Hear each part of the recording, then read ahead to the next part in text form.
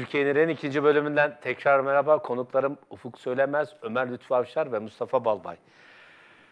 Sayın Söylemez, tabii e, demin konuştuk ekonomiyle ilgili. Aslında sokaktaki yangın, sokaktaki sıkıntı, sokaktaki problem bitmiyor. E, bu problemi en iyi kullanan, daha doğrusu bu probleme en iyi parmak basan diyelim siyasi deyimle kullanmak yanlış bir sözcük oldu. Saadet Partisi. Gerçekten e, e, herkes hayran. Onlar bir akıl oyunu içinde, bir yani çok zekice, çok e, e, akla dayanan taktiklerle, tweetlerle, hazırladıkları e, çeşitli e, sosyal medya paylaşımlarıyla bizleri mest ediyorlar. Yani nasıl ben mest de ediyorlar? ilgili izliyorum. Evet haklısınız. Evet, yani farklı şeyler söylüyorlar, farklı şeyler anlatıyorlar ve sosyal medyada en çok paylaşılan e, görüntüler bunlar. Örneğin bir e, Berat Albayrak'la ilgili bir tweet hazırlamışlar e, Saadet Partisi. İsterseniz arkadaşlar onu bir gündeme getirelim, onun üzerinde bir konuşalım. Dolara aşırı derecede yatırım yapanlar yaya kalabilirler. Yastığının altında döviz olanlar gelsin parasını altına dönüştürsün. Bir papazda sizde var. Siz onu bize verin. Biz de size onu yapalım yargıda şeyini size verin. Dövizin öyle 3-5 kuruş değil 5-10 kat birden arttığı günlerden biz buralara geldik. 24'ünde siz bu kardeşinize yetkiyi verin. Ha, ondan sonra bu faizle şunla bunla nasıl uğraşılır göreceğiz. Tüm burası çok önemli. Dolar molar bizim yollarımızı kesmez. Hiç endişe etmeyin. Onların dolarları varsa bizim Allah'ımız var. Burası çok önemli. Ya düşünün be, düşünün. Bir merminin fiyatı nedir düşünün. Döviz alıp 6 liradan 7 liradan niye? Dolar 10 lira olacak ya 15 lira olacak ya 6 liradan 7 liradan toplayalım dolarları. Ha 10-15'e satarız. E sonra ne oldu? Dolar düştü 5 liraya. Bunlar kara kara düşünüyor. Eyvah eyvah. Ne yapacağız? Şöyle bir kriz çıksa da bir füze yağsa da şu olsa da bu olsa da bir dolar yükselse de bir satsak da bir kar etsek. Çok beklersiniz. Hele de seçimden sonra daha çok beklersiniz. Yorulmadık değil mi dinler? Çok önemli bir şeydir. Türkiye'nin ekonomisinin sorumlusu benim, ben. Benim. Şu anda devletin başında kim var? Tayyip Erdoğan var. 16,5 yılda geldiğimiz bu ekonomik buhranın esas müsebbibini Sayın Cumhurbaşkanı itiraf etti. Benim dedi. Düzeltmeye kalkar mı bundan sonra? Bazen soruyorlar. Düzelir mi? Düzelir. Ama bugüne kadar izlenen bütün politikalar değişirse düzelir. Sayın Bakan düzelir mi? Düzelir ama Saadet'in çok güzel bir klibi ama eksik klip. Politikalar değil.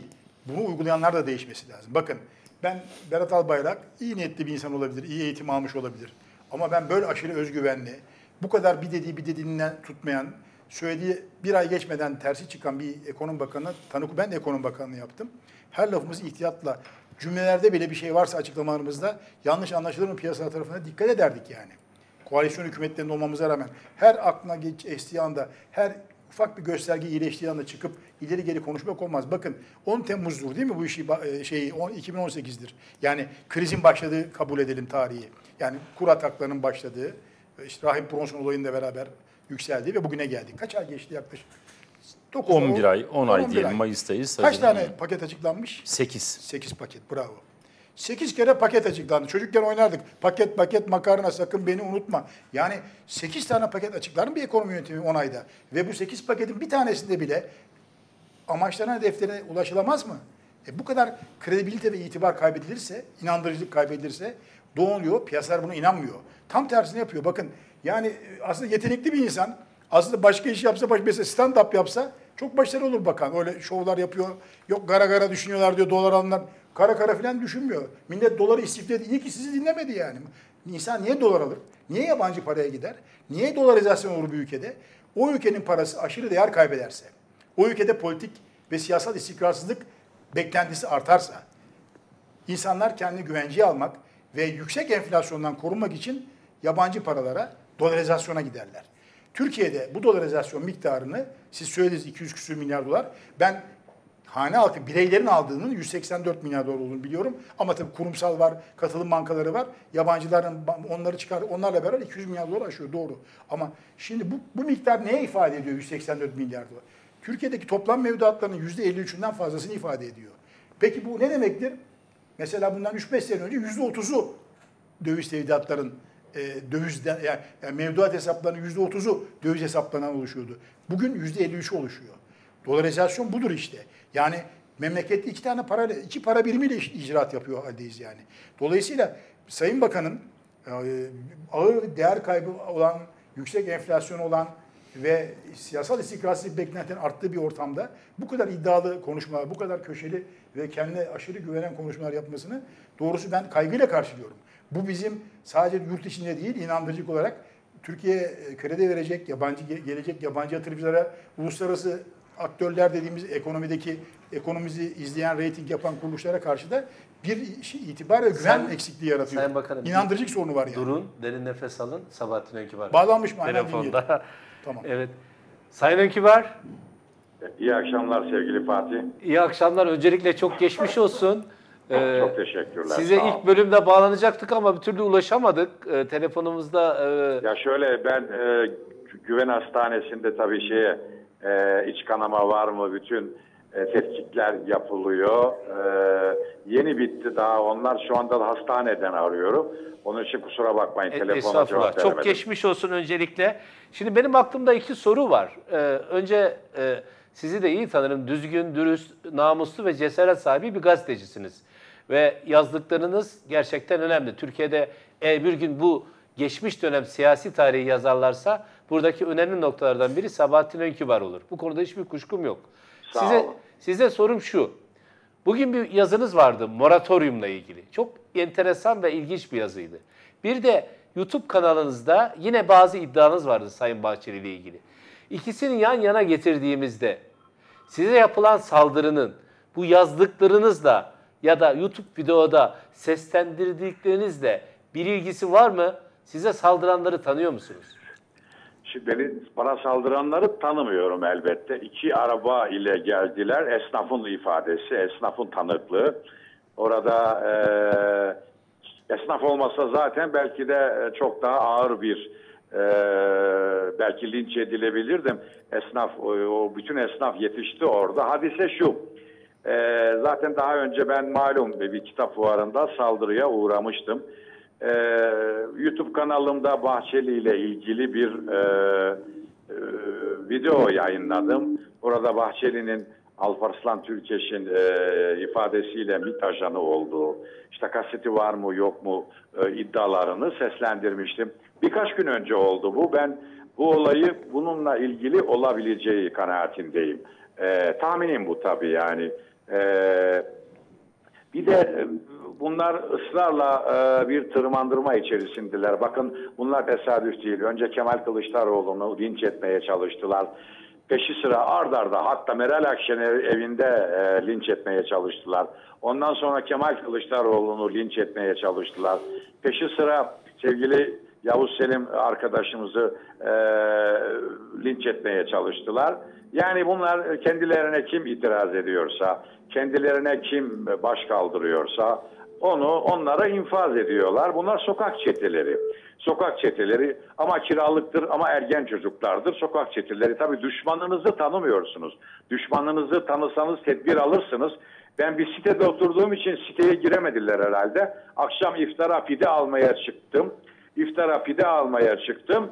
Ee, bu çetelerin saldırısına uğradım. Yani e, tabii dikkatli ve tedbirliyim. Ben bir de bu tür şeylere alışkınım. Üniversite yıllarımdan beri bu tür kavgaların, mücadelelerin içinden geliyorum. Ama bana o e, ergenleri, bana o kiralık e, itleri affedersiniz gönderenlere kanalınız huzuruyla meydan okuyorum.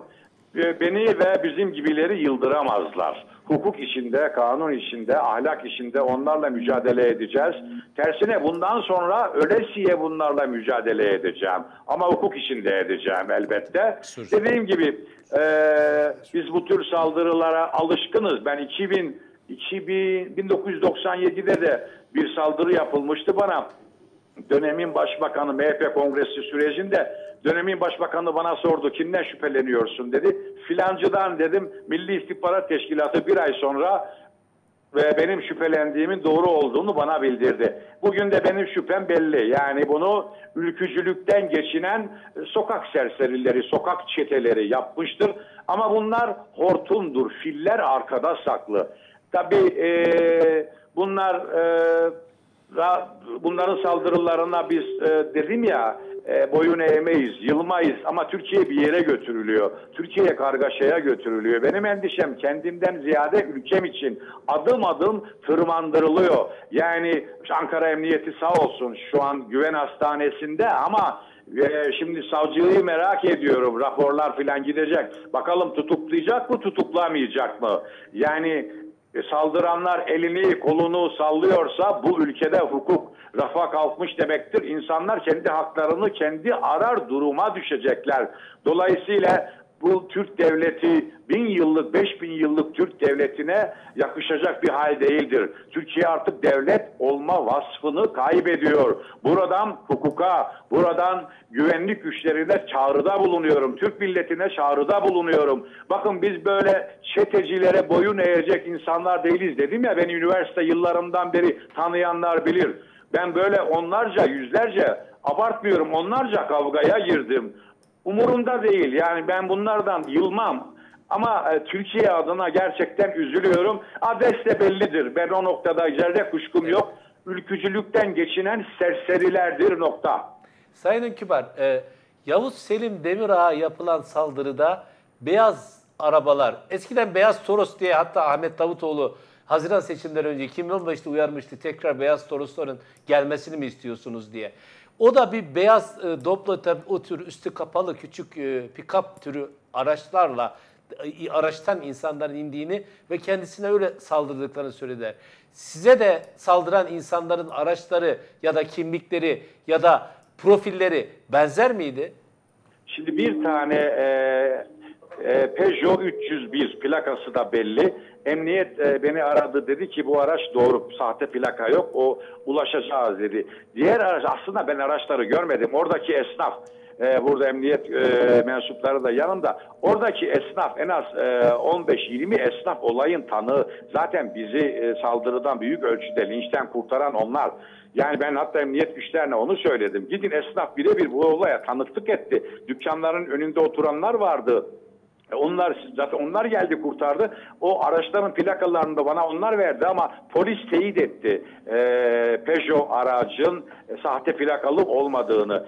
Dolayısıyla ha bunlar dedim ya ergen çocukları da kullanmış olabilirler. Evet. Ee, dahası dahası e, böyle Ankara'da böyle e, haplı gezen e, çeteler var. O çeteleri de kiralamış olabilirler. Her şey mümkün. Yani bu saldırı bana yapılmadı. Bu saldırı Türkiye'nin birliğine, bütünlüğüne, kardeşliğine, birlikte yaşamaya yapıldı. Onun altını çiziyorum. Ben düşmanımı tanımıyorum. Ben kimseye e, ya düşmanımı tanımsam ona göre tedbir alırım.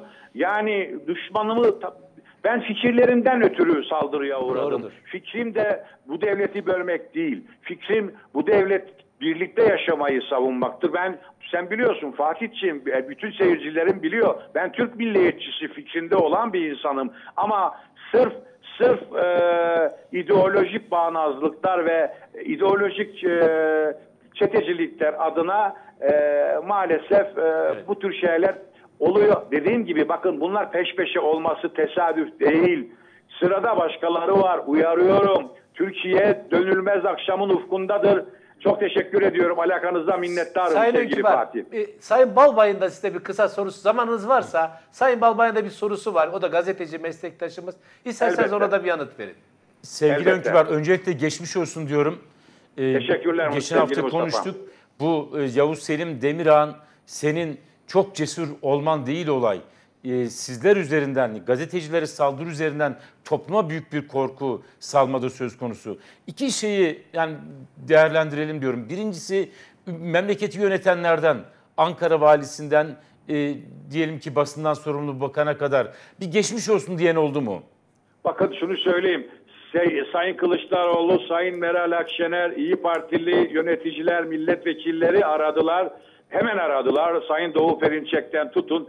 pek çok şey aradı ama hükümet kanalından şu ana kadar bir geçmiş olsun. Yalnız şunu son bir saat telefonuma cevap veremiyorum. Aramış olabilirler ama ilk etapta arayanlar, ilk etapta mesela Sayın Beral Akşener, Sayın Kılıçdaroğlu, Sayın Ümit Özdağ, Sayın İlhan Kesici yani böyle e, efendim eee İ- insanlar, kişiler aradı. Hükümet cenahından ilk bir saat boyunca arayan olmadı. O zaman ülkeyi Bu- yönetenler bu- bu muhalefetten Son, son bir saatte, iki saatte arayan oldu mu bilmiyorum. Telefonuma cevap veremiyorum.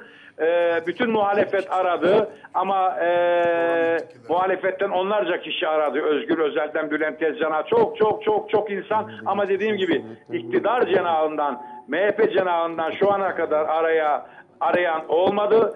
Ben iktidardan belki olur ama MHP cenahından, Bahçeli cenahından zaten beklemiyorum. Ama Bana ülkeyi göre yönetenlerin bir iftira sorumluluğu. etmeyeyim, günahlarını almayayım Ama ama, senin hayatından- muhtemel failler onlardır. senin Tahmin hayatından inşallah sorumlu yanılırım. onlar. Şimdi ikinci olarak Önkübar. Şimdi her gün aynı saatte mi gidiyordun oraya? Hayır, hayır şöyle, hayır. Belli ki, belli ki şimdi benim oruç tuttuğumu bildiklerinden akşama doğru pide alacağımı tahmin edip pusuya yattılar. Ama bir bilgi aldılar, bir istihbarat var de demek ki. Bir çıktım, çıktım eee bir Yani spontan bir şey geldim. değil bu yani. saatinde bu saldırı olmadı. Akşam böyle iftara yakın oldu. Benim tabii oruç tuttuğumu geçen hafta Halk TV'de bile söylemiştim. Oruç tuttuğumu bildikleri için bu iftara yakın pide almaya gider diye tahmin ettiler. Pusuyu kurdular. Hadise o ülk- ülkücülükten geçinen, milliyetçilikten geçinen birilerinin iftar açmaya, pide almaya gidenlere kurduğu bu tezgahı milletime, Türk milliyetçilerine şikayet ediyorum. Tekrar geçmiş olsun diyoruz sevgili Sayın. Ufuk söylemesin de- İlginize minnettarım. Sayın Çok teşekkürler. Sayın- Alaka gösteren herkese teşekkürler. Önkübar, Sağ olun. Yılmak yok. Yola devam. Her şey güzel olacak. Mücadeleye devam. Sayın Ökibar, Sayın Ufuk Söylemez'in de bir şey var. Her zamanınız varsa kusura bakmayın sizi tuttuk ama. Her şey güzel olacak. İyi akşamlar. Ee, Sabahattin'ciğim. şey, ses ses biraz bozuk gelmeye başladı. Geçmiş olsun Sebahattin Bey. Ben seni telefonla aradığım için ama bu programda da bir kez daha şiddetle kınıyoruz bu yapılan alçak saldırıyı. Senin gibi cesur ve yürekli bir kalem böyle şeylerden yılmaz. Büyük geçmiş olsun diyoruz sana ve ailene. E, Çok İnşallah, inşallah bunlar tekrarlanmaz. Ufuk. Söylemez konuştu. Ee, Sayın Ökibar e, çok geçmiş olsun. Yanımda Ömer Lütfü Avşar var. diliyorum. Ömer Lütfü Avşar var. O da geçmiş olsun dileklerini Sayın- iletiyor. İyi yayınlar diliyorum. Önkübar büyük geçmiş olsun. Kendinize iyi bakın. Herhalde yanında birileri var. Rahat Sağ olun. Hızlı hızlı konuştu. Sağ Tabii. olun. Teşekkür İyi ederim akşamlar, Sayın iyi Ökibar. yayınlar. Sağ Tekrar olun. geçmiş olsun. Sayın meslektaşım, sevgili meslektaşım.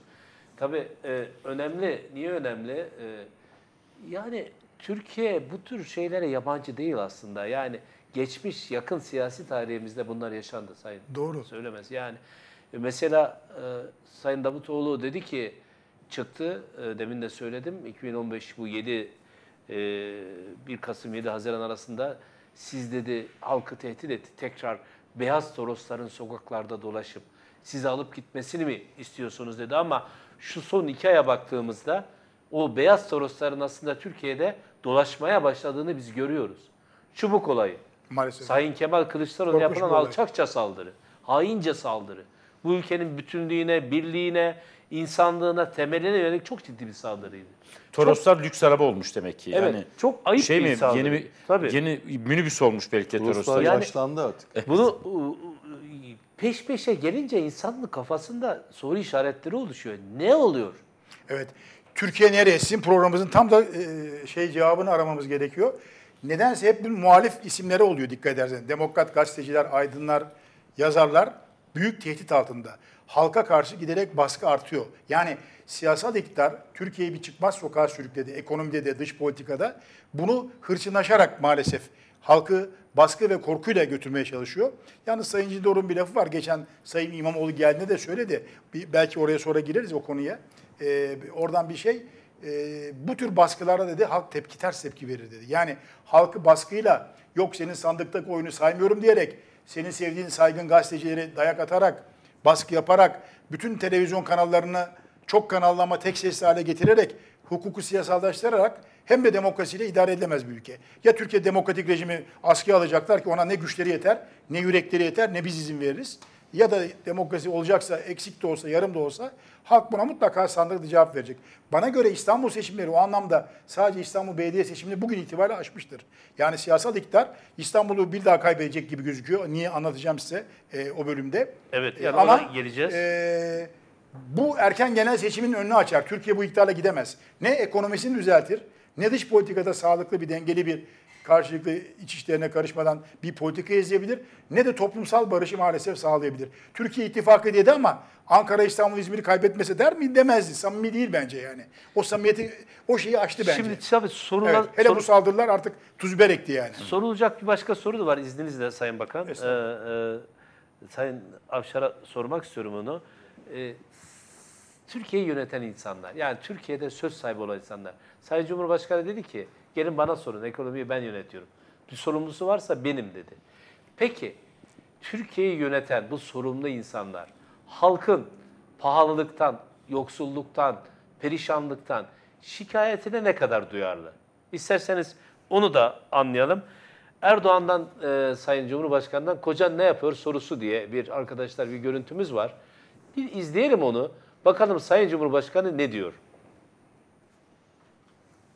İş bulamıyoruz efendim, iş yok. Gerçekten ben iki üniversite mezunuyum, işim yok şu anda. Ama nasıl geçinecekler? Babalar evine nasıl ekmek götürecekler? Efendim? O şu anda işi var, çalışıyor. İş bulamıyoruz efendim, iş yok. Gerçekten ben iki üniversite mezunuyum, işim yok şu anda. Ama nasıl geçinecekler? Babalar evine nasıl ekmek götürecekler? Efendim? Şu anda işi var, çalışıyor. Yani e, bir insanın kocasının olması, çalışması, o kadının çalışmayacağı, evde oturacağı. Burada tabii benim sözüm AKP'nin oy veren seçmenlerin yarısından fazlasının kadın olduğu anketlerde, araştırmalarda ortaya çıkıyor. Kadınlar lütfen bunu dikkatle izlesinler. Yani bir e, kadının kocası çalışıyorsa çalışmaması gerektiğini anlayacağız Cumhurbaşkanı'ndan? Yoksa bir evde bir çalışan yeter, İkinci çalışana ben izin vermiyorum anlamına mı geliyor? Üçüncüsü ya bu ülkede sorun yok. Nasıl olsa kocan çalışıyor. Sen de kadınsın. Git çocuğuna bak. Ne işin var? Niye bana bu soruyu soruyorsun anlamına mı geliyor? Ne anladınız Sayın Avşar bu görüntülerde? Şimdi e, birincisi şu e, yöneten insanlar diyorsunuz. E, çoğul bir yapı yok. Biliyorsunuz 16 Nisan'dan sonra Türkiye e, sadece e, Cumhurbaşkanı tarafından ve onun uygun gördüğü bürokratlar ve bakanlar tarafından yönetiliyor. Zaten Sayın Cumhurbaşkanı da diyor ki her şeyin sorumlusu benim. Şimdi e, bu siyasi bir polemik ama Türkiye'de iktidarın çok uzun süredir iktidara gelme sürecinden beridir de ortaya koymaya çalıştığımız, anlama, anlatmaya çalıştığımız temel bir prensibi var. Yaşam biçimi kadınların e, sokakta olmasını, üretken olmasını, kadınların e, katma değer üretmesini, Türk e, siyasette, yönetimde e, her alanda yani insanın yaşadığı her alanda aktif olmasını arzu etmiyor. Ve bunu çok güzel manipüle ediyorlar. Bakın e, dikkatinizi çekti mi? Son günlerde e, nafaka sonsuza kadar olmamalı diye bir şey başladı. Ve kamuoyundan o kadar çok destek görüyor ki. Yani sonsuza kadar nafaka mı olur? Yani bunu bir an evvel çözelim.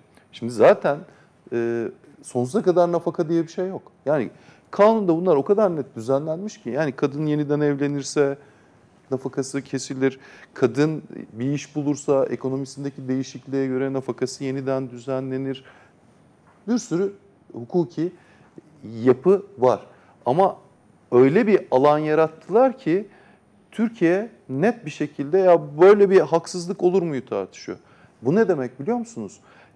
Büyük şehire göre, düşünceye göre Türkiye'yi tanımadan kadını eve hapsetmenin başka bir anahtarı. Buna benzer o kadar çok şey oluyor ki şimdi kadın Urfa'da, Diyarbakır'da, Kırıkkale'de kocasından zulüm görüyor. Ne hakkı var? Avukata gidiyor diyor ki nafaka alırsın işte gelirine göre şöyle alırsın. Sonra şimdi yasa değişecek diyecek ki 5 sene alırsın. Şimdi kadın doğal olarak diyecek ki ya ben bu evliliğe mahkumum. Ya da 5 sene sonra bir daha evlenmek zorundayım. Ve Türkiye'deki kadınların çalışma ortamı özellikle Taşra'daki kadının kendine bir iş alanı yaratması, çocuklarına bakması, bir ekonomik güce ulaşması imkansız. Çünkü zaten eğitim hakkı da kısıtlanmış vaziyette. Bakın hanımefendi diyor ki ben iki üniversite mezunuyum. İşsiz. Zaten gençlerde üniversite mezunlarında işsizlik %30'a %30, gelmiş. evet, yani kadına maalesef. şu deniyor. Yani erkeğe mahkum ol. Onunla evlendiysen boşanma. Boşanırsan da bir daha evlen.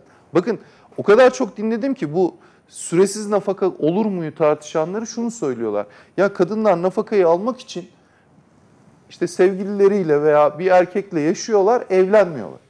Yani bu Türkiye'yi tanımamak demek. Yani bu yüzde kaç olabilir böyle bir şey?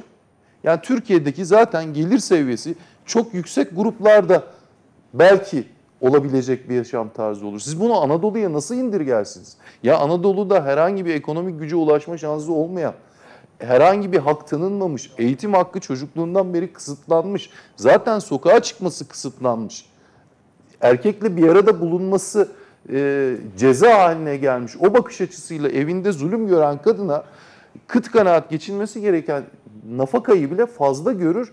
Bir- sanki bir hukuki açılım gibi yapıyorlar ve işin garip tarafı da e, sosyal aydın kadın dernekleri de susuyorlar. Yani bu hükümet kadınlarla ilgili durumu hep böyle yaptı. Bakın sizin programlarınızda daha önce de bunu anlattım. İktidarda olmak istiyorsunuz. Yüzde elli oy sahibi olmak istiyorsunuz. Bakın bir erkek, karısı, kızı, annesi tahakküm ettikleri bu sosyal yapı anlayışında. Şimdi yüzde on iki buçuk erkeği beslerseniz yüzde elli oy sahibi olursunuz. Şimdi erkek egemenliğine dayalı, çalışmadan katma değer üretmeden, çeşitli yardımlarla, sosyal desteklerle çalışmaktan uzaklaştırarak ve kadına tahakküm etme mantığına, kadının üzerinde baskı kurma mantığına, o eğitime göre yetiştirilmiş erkek modeliyle yani %12,5 erkek yarattığınızda, seçmen yarattığınızda %50 oy alırsınız. Bütün mantık bu. Kadın ne zaman sosyal hayatın içinde olur? Kadın ne zaman erkek kadın ayrımı olmadan insan olarak her alanda kendini insan olarak temsil eder ve eşit yarışta olur? O zaman sorun çözülür. Bana Türkiye'de kaç tane kadın genel müdür söyleyebilirsiniz? Ya 2020'ye geliyoruz. Cumhuriyet'in 100. yılını 23'te kutlayacağız. O- 19 Mayıs'ın 100. yılındaydık. Bakın tüm Cumhuriyet'in kuruluş ilkelerinden uzaklaşıyoruz. Şimdi bana kadın kaç tane müsteşar söylersiniz? Göstermelik hani kadın bakan mutlaka bir oluyor. Meclisin ne kadarı kadın? Bunları geçin. Hayatın alanında yani kadına yük olmayacak, kadın olması gerektiği yani cinsiyeti nedeniyle verilen işler dışında kadının olduğu özellikle yönetim alanında olduğu hiçbir yer yok. Ya anaokulu öğretmeni olacak öyle değil mi? İşte tarlada bağda çalışacak ve erkeğin kontrolünde olacak, banka memuru olacak. Ama hiçbir şekilde hiçbir şekilde kamuyu yönlendiren vali kaç tane vali var? Kaç tane kaymakam var? Ama şöyle bir şey izin verin bana. Ee, öyle kadınlar var ki kocalarına e, en başta kök söktürüyorlar ve bu mevcut düzene karşı direnmeyi de bir görev edinmişler. Karı kocanın e, İmamoğlu kavgası var. Arkadaşlar o görüntüleri verelim. Şundan verelim. İki insan, biri eş, biri ko- koca, biri kadın. Ve kadın kocasının tüm dayatmasına rağmen İstanbul için gönlünden geçeni şöyle anlatıyor. İzleyelim. AK Partiliyim. Hep de AK Parti'ye oy vermişimdir. İmamoğlu tarafındayım. Eşim de İmamoğlu diyor. Eşim de Garanti alacak Ya- İmamoğlu. Kim ne der? Artar mı oyları ne diyorsunuz? Alacak. İnat ettik çünkü. Alacağız. E, sizce seçimde hile oldu mu bir e, AK Partili o- o- olarak? Seçimde ben Oldu. Ona garanti söyleyeyim o. Kim yaptı? Bunu da Erdoğan'ın tarafı yaptı. Siz ne diyorsunuz? Vallahi bizimkiler eğer hileli hurdalı bir insan olmuş olsaydı AK Parti 25 senedir İstanbul Erdoğan kabullenmedi ya. Yeniliği kabullenmedi. Kabullenmedi bir gerçek yani. her türlü fedakarlığı AK Parti yapmıştır. Bunları insanlarımız görsün. Bunları insanlarımız Tek başına yapmadı yalnız. Bir de onu düşünmek lazım. Tek başına kimse savaş vermedi. Sen, sen en iyisi git şeyin yanına ya. Neydi o ismini de söylemek istemiyorum da. Sen git İmamoğlu'nun yanına git. Onun, onunla beraberim zaten. Bunu kimse değiştiremez. CHP, CHP ne yapmış bugüne kadar bu ülkeye? Ne, yapmış Erdoğan ne yaptı? Erdoğan daha ne yapsın kendini? Erdoğan yaptı konuştu yaptı konuştu. İyilik yaptığı zaman insan konuşulmaz. Bu bir gerçek. Ben kalkıp birine iyilik yaptığım zaman ya bak ben bunu insanıma şunu yaptım demem. Sizce hileyi kim yaptı? Bence hile yoktu. Hileyi yapılmadı. Sadece oylarımızı çaldılar diyorum başka da bir şey değil. Kim çaldı? CHP'deki profesyonel insanlar diye Diyemiyorlar. Kimin çaldığı yok ama çalındı. Ama yenilmeye de geldiği zaman da suratlar düştü. Peşindesin Allah aşkına ya? İsim neden verilmiyor? Neden isim verilmiyor? AKP'nin bu sefer kazanacağını düşünüyor musunuz 23 Haziran'da? Vallahi kazanacağını düşünüyor muyum desem düşünmüyorum yalan konuşurum. Ama e, şunu söyleyeyim bir AK Partili olaraktan kaybedeceğimiz kesin. Eğer ki başkanı belliyse o karar vermiştir. O ona göre yönetmiştir ki bu şekilde devam etmiştir. Bu şekilde çıkmıştır. Sen benim düşmanım mısın? Vallahi seni AK Parti için bırakırım gerekirse. ha. Ben kendim Aslında bir aile kavgasına neden olmak istemezdik ama gelişmeler bu. Ve iki insan yani artık kadınları kolay değil. Yani şunu yapacaksın diye kocası bakın bir evde iki insan. Eşler bunlar. İkisinin ayrı dünyası var ve birbirini ikna etmekte zorlanıyorlar. Sayın Avşar'ın bahsettiği bu. Ee, isterseniz bir sorun var size. Ee, burada bir hukukçu olarak da e, varsınız. Ya e, Şimdi Ekrem İmamoğlu'ndan bahsetti. Ee, nasıl karşılıyorsunuz bugün Türkiye'nin geldiği noktayı? Yani YSK kararı, siz çok e, bu konuda e, yazıda yazdınız, e, paylaşımlarınız da oldu. Yani nasıl geldi Türkiye bu noktaya? Yani bir evdeki aileyi bile bölecek noktaya geldi. Böyle bir haksızlık, bir bir usulsüzlük, bu bir yanlış, bu bir e, siyasi ayıp. E, bu konuda düşüncenizi alayım. Şimdi e, Sayın Arçuk bu sadece siyasi bir ayıp değil, hukuki de bir ayıp. Ee, Türkiye şu alandan sürekli süratle uzaklaşıyor. Yani hukuk devleti olmak ilkesini reddediyor. Ee, şimdi YSK'nın e, kararını hatırlarsanız çok büyük heyecanla bekledik. Yani illaki sonucu ne olursa olsun kabullenelim kabullenmeyelim hukuki bir gerekçeye dayansın. Hukuk devleti ilkesini yaşatsın diye düşündük. Ama YSK kararında bir hukuki gerekçe yaratmak yerine kamuoyuna karşı adeta bir savunma metni çıkardı. Yani daha önceki o yanlış hatırlamıyorsam 544 ta- e, sayılı karar yani bu mühürsüz oy pusulalarındaki kararındaki gerekçesini reddeden yani e, vatandaşın oyunun e, sandığın sonucuna yansımasını koruyacak tüm tedbirleri alıp onları yaşa, o sonucu yaşatmaya çalışan tüm ilkeleri reddetti. Örneğin dedi ki e, sandık kurulu başkanları ile ilgili yasa 2018'de çıktığı için e, bundan önceki iştihatlarım buna emsal değil dedi. Şimdi oradaki cümlesi çok önemli. Defaatlerce konuşulduğu için e, tekrar metni okumak istemiyorum. Diyor ki sandık kurulu başkanlarının kanuna uygun olarak seçilmemesi şekli olarak yasaya aykırıdır ve sandık kurulu üyelerinin başkan da dahil siyasi partilerle paylaşılmaması da olağan itiraz süresini kaçırmasına neden olmuştur. Bu da seçimin sonucuna müessirdir diyor. Şimdi aynı karardan yani karara neden olan 17 Nisan tarihli Adalet ve Kalkınma Partisi'nin dilekçesinden sonra 20 Nisan'da ki bu gerekçede de onu farklılaştırmaya çalışıyor. Meşhur hatırlarsanız Kemal Paşa, Bursa Kemal Paşa Evet. kararı var. O kararda sadece diyor ki evet İyi Parti olarak sen sandık kurulları bana tebliğ edilmedi diye itirazda bulunuyorsun ama sandıklar e, 2 Mart 2019'da kesinleşti. Senin itirazını ben dikkate almıyorum diyor. Ama Adalet ve Kalkınma Partisi o karardan 4 gün önce 17 Mart'ta müracaat ediyor. Bu kez diyor ki her ne kadar diyor o gün ben kararımda sen olağanüstü itiraz süreçlerini kaçırdın, itirazını incelemiyorum desem bile diyor zaten incelediğimizde görüyoruz ki diyor oradaki sandık kurulu görevlileri zaten kamu görevlisiymiş diyor. Şimdi bakın bir kararda vatandaşa karşı bir başka itiraza karşı savunma mantığında.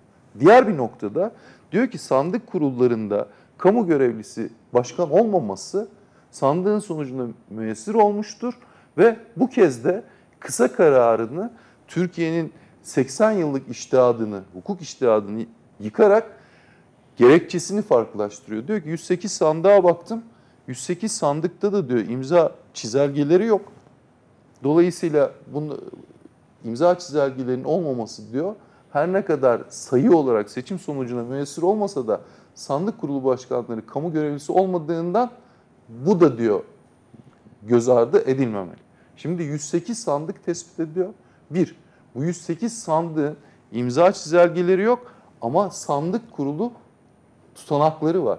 Yani o sandıkta görev yapan İyi Parti, Adalet ve Kalkınma Partisi, MHP, HDP, CHP'nin temsilcilerinin tamamında tutanak var. ıslak imzalı.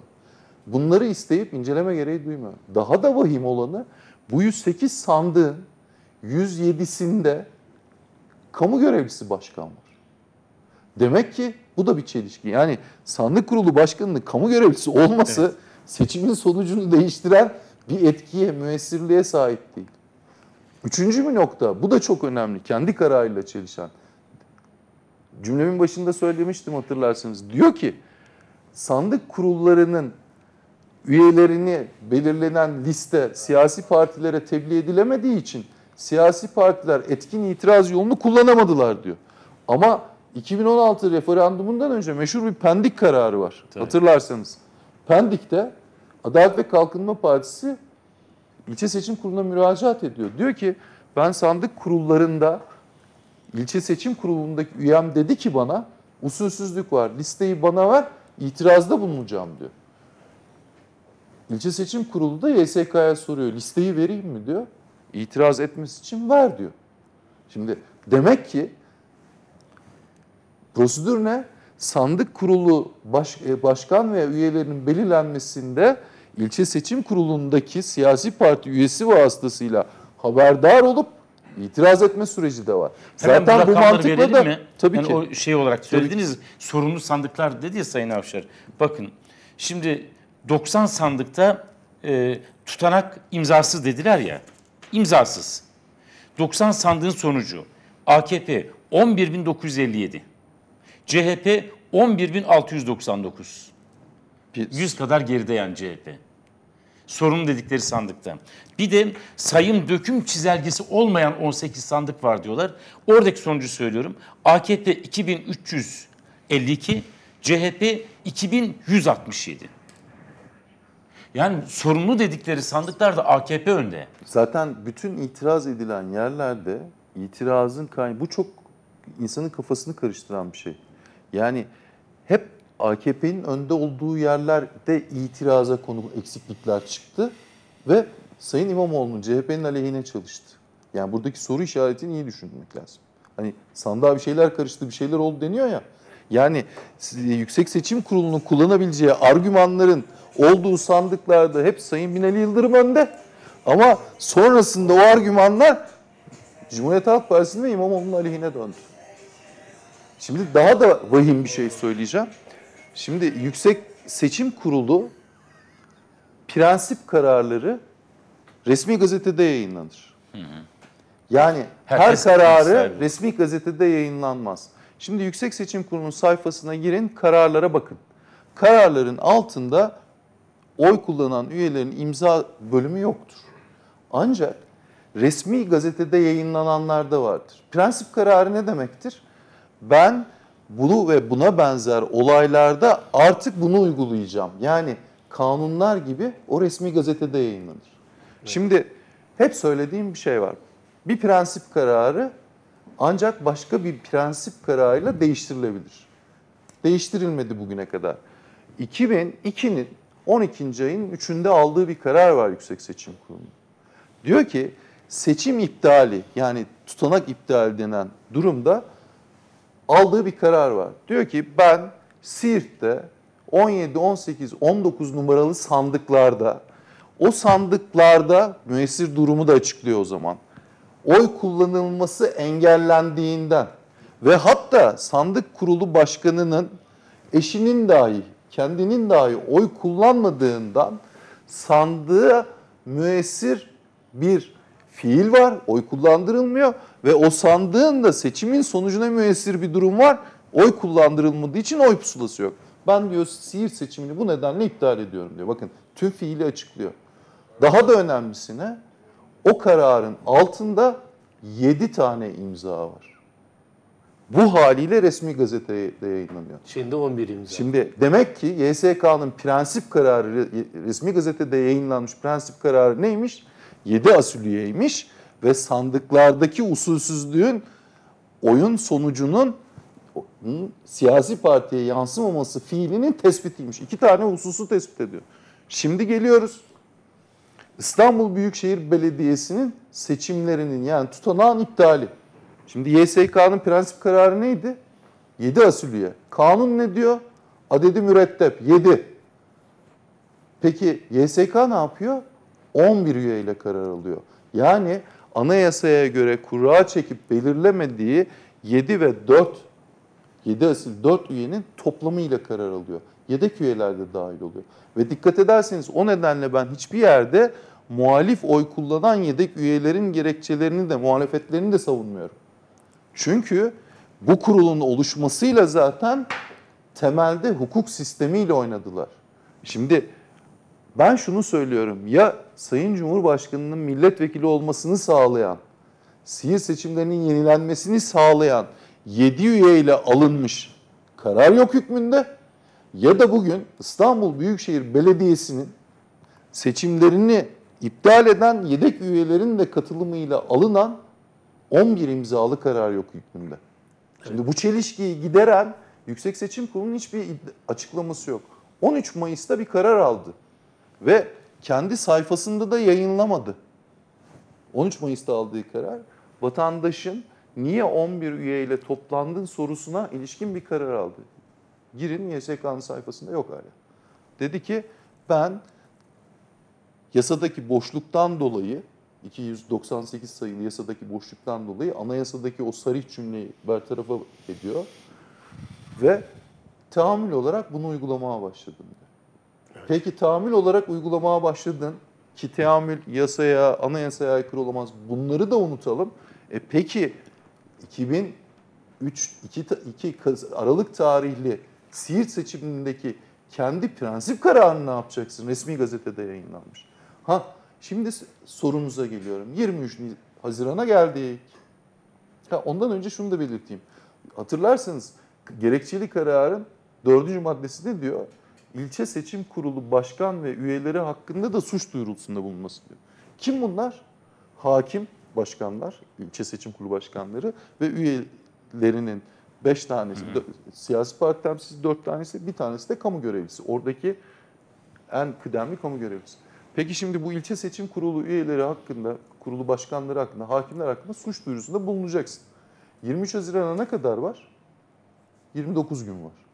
Şimdi bu hakimler görevde mi? Görevde.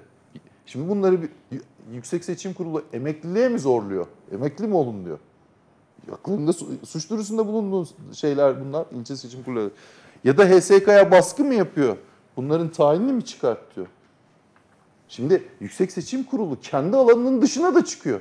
Şimdi senin adli konu seni ilgilendiren bir, şey, bir konum değil. Adalet ve Kalkınma Partisi 100 küsür tane sandık kurulu hakkında, ilçe seçim kurulu hakkında değil, suç duyurusunda bulundu zaten. Senin görevin seçim güvenliği kapsamındaki seçim sonucuna müessir durumu tespit etmek. Şimdi 23 Haziran'da bir de biz üstelik hakkında suç duyurusunda bulunulmuş ilçe seçim kurulu başkanlarıyla, yargıçlarla seçime gideceğiz. Şimdi bunların hepsini toparlayın. Yeni bir seçim, yani 31 Mart'ın yenilendiği bir seçim. Yüksek Seçim Kurulu'nun tüm kanuni açıklıklara rağmen, anayasaya aykırı olmasına rağmen bir tutum ve davranış içerisinde olduğu, gerekçesinin bir mahkeme gerekçesi gibi, bir karar gerekçesi gibi değil,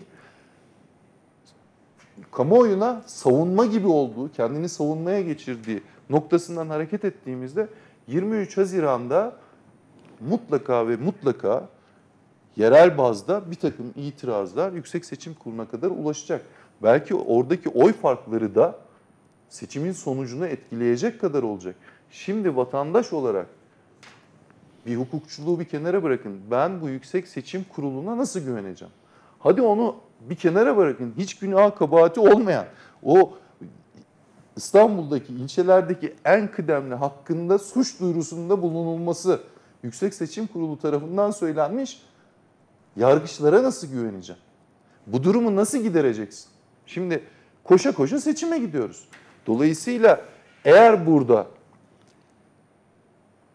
adaylar bir diğerine yüzdeli farklarla tartışmasız seçimi sonuçlandıramazlarsa bu seçimin sonucunun gene kamuoyu baskısıyla Yüksek Seçim Kurulu'nun da bu hukuk dışı teamül gerekçesiyle veya savunma gerekçesiyle açıkladığı hiçbir noktada hukukla örtüşmeyen hatta karar içerisinde defaatle birbiriyle çelişen, kendini aklamaya çalışan yapısıyla sonucun hukuki tartışması ülke genelinde hukuk devleti yapısında da ülkenin hukuki güvenilirliğini zedeleyecek. Ha onun üzerine artık bizim ekonomi konuşmamıza da gerek yok. İşte e, sosyal refah konuşmamıza da gerek yok. Çünkü hukuk devleti yoksa zaten bunların hiçbirisini sağlayamazsınız. Yani işsizliği de çözemezsiniz. Ekonomiyi de çözemezsiniz. Sosyal refah, mutluluğu da çözemezsiniz. Yani Yüksek Seçim Kurulu bu tavrıyla, bu davranışıyla bu ve 31 Mart sürecinin iptal süreciyle yaşadıklarımızın aştığı yara telafi edilemez bir noktaya geldi. Evet. O nedenle Sayın Bakan söylediğine katılıyorum. Bu yarayı giderecek bir sürece gitmek zorundayız. Bu nasıl olacak? Bu seçimlerin yenilenmesiyle ve o yenilenme sürecinde de tekrar eski hatalarından arındırılmış parlamenter sisteme, kuvvetler ayrılığına, tek adamlıktan demokrasiye hızla geçişle düzelebilecek. Çünkü biz bu süreci 16 Nisan'dan beri, 24 Haziran'dan beri de uygulamasını görüyoruz. Bu yürümüyor. Peki. Uzattım kusura bakmayın. Estağfurullah. Sayın Balbaya ikinci bölümde artık. Üçüncü bölümde. Daha iki bölümümüz daha var Sayın Balbaya. iki saatiniz var. Ama sizin bir e, birikti yanıtlayacağınız sözcükler. Hem YSK'ya konuşacağız hem İstanbul'u konuşmaya başlayacağız. Orada size ihtiyacım olacak. İstanbul'la ilgili konuşacağız. Bizden ayrılmayın. Az sonra neden AKP İstanbul konusunda bu kadar ısrarlı? İstanbul'da ne var? AKP'nin vazgeçemediği ne İstanbul'da? Sadece maddiyat mı? Başka ilişkiler mi? İstanbul için ayrı bir proje mi? Neden İstanbul Türkiye'nin önünde? Neden İstanbul için AKP ve Sayın Erdoğan Türkiye'yi yakmayı göze alıyor? Bizden ayrılmayın. Çok önemli konular ve açıklamalar var.